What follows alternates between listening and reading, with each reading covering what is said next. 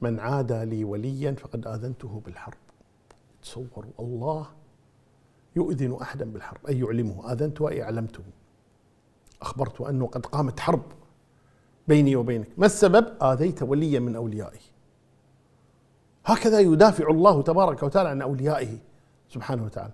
والله تبارك وتعالى قد توعد بالحرب ثلاثة.